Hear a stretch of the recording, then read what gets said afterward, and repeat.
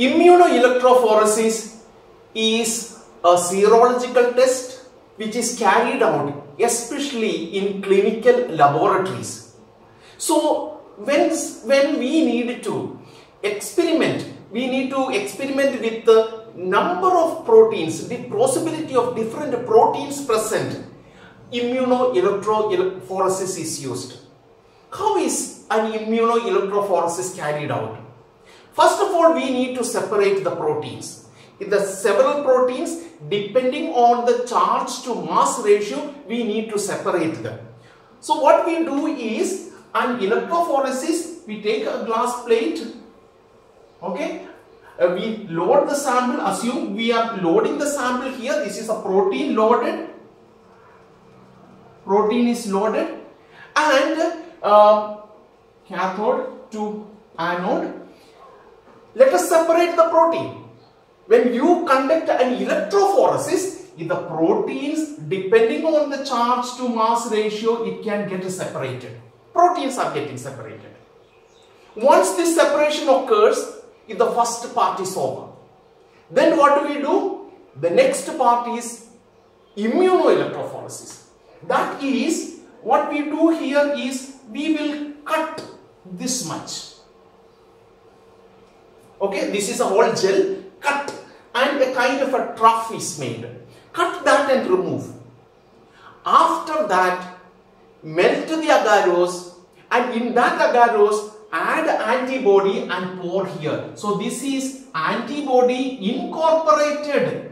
Antibody incorporated agarose is poured.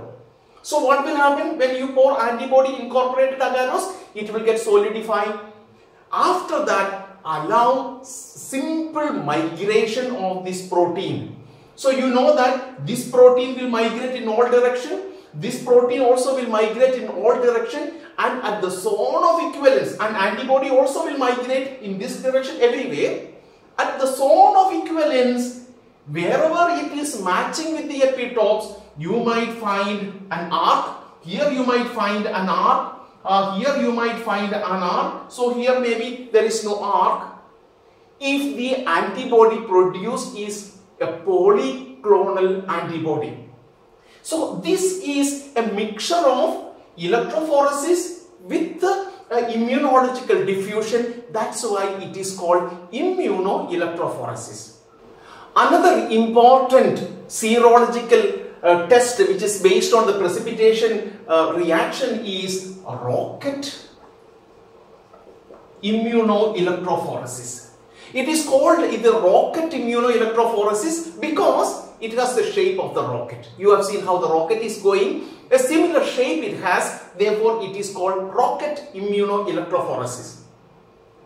One of the disadvantages of rocket immunoelectrophoresis is the antigen must be negatively charged. We have to charge the antigen negatively. Certain antigens we may not be able to charge negatively and that you cannot use it for rocket immunoelectrophoresis. How is rocket immunoelectrophoresis carried out? Very simple. Uh, take a glass plate like this.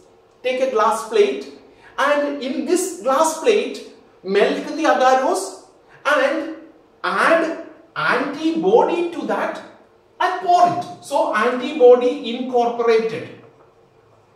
Antibody incorporated agarose you pour. After incorporating that, once it solidifies, create wells here. 1, 2, 3 and 4. Create wells. Now, in these wells, what we are going to do is, we will add antigen, negatively charged antigen in increasing concentration. So therefore, antigen in increasing concentration. Antigen is added. So here this will have the lowest concentration and as it moves on, it will have the highest concentration. Assume that 1, 2, 3, we add known concentration of antigen. And in this well number 4, we will add an unknown concentration. And let us see how we find the concentration of this unknown sample. Now carry out electrophoresis. Remember this is negatively charged. So when you allow electrophoresis, if the proteins will is moved or pushed into this agarose which is incorporated with antibodies and at the zone of equivalence it will form a precipitin line depending on the concentration of antigen. So this is higher concentration, it will have a higher rocket, this will have a still higher rocket and this we don't know the concentration, this will have a rocket like this. Measure the length of the rocket. After measuring the length of the rocket, what we are going to do is we are going to draw a graph and in this graph okay so uh, this you take the length of the rockets. On the x-axis you take increasing concentration of antigen you take. So on the y-axis the length of the rocket. So therefore the first one first antigen let us we get the length is here. In the second the length is there. And the third the length is here connect all these points. Connect to these points. When you connect to these points, now you have the unknown concentration. Find out, interpolate the unknown concentration and you will, unknown length and you will be able to see, you will be able to find the unknown concentration of the antigen. This is how we use rocket immunoelectrophoresis. We are using diffusion as well as the principle of uh, electrophoresis in order to get a faster precipitation by using rocket immunoelectrophoresis. Another variation of uh, uh, precipitation reaction is 2D immunoelectrophoresis. 2D immunoelectrophoresis from the name itself you can make out there is um, immunodiffusion, electrophoresis and the dimension also changes. It is a, basically a variation of the immunoelectrophoresis that we have seen. What do we do here? Simple. First of all, carry out an experiment where you are separating a protein. This is plus and this is minus. You are separating a protein based on its charge. The protein is separated. Once you separate the protein, what we need to do is we are going to cut this portion. Okay, this is the protein that got separated. We cut this much.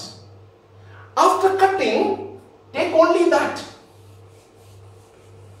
Okay, after cutting, take only that portion. So remember, this was the first direction of our electrophoresis. First direction. Now what do we do? We will we are going to have a different direction for electrophoresis.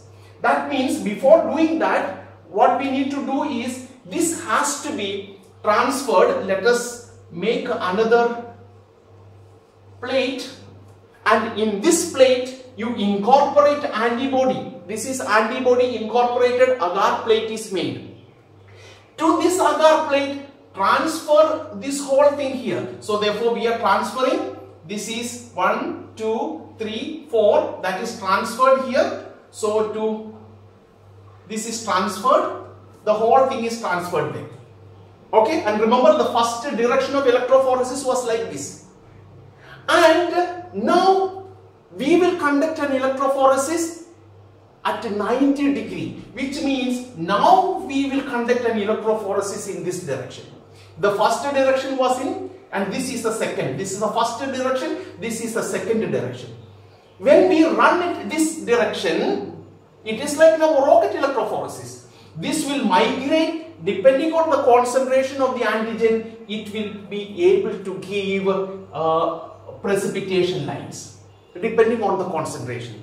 This is known as two-dimensional immunoelectrophoresis. Therefore, varieties of serological tests based on the precipitation principle is carried out like single radial, double radial, uh, immunoelectrophoresis, uh, rocket immunoelectrophoresis and finally two-dimensional immunoelectrophoresis. These are some of the experiments carried out based on the precipitation reaction.